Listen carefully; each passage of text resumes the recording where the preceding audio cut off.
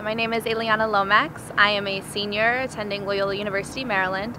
I study international business with a minor in Spanish, and I am currently an operations analyst at Brown Advisory. In studying international business, I really wanted a way that I could increase my overall professional development skills paired with just this opportunity to really network with some of the best local Baltimore companies that are thriving today.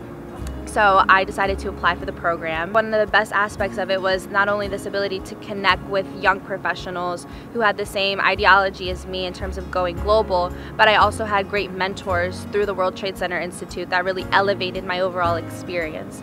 His name is Jamal Washington. And after I completed the program, I decided to reach back out to him um, a couple weeks prior to actually reaching out to him about connecting with someone at Brown because I needed more business cards.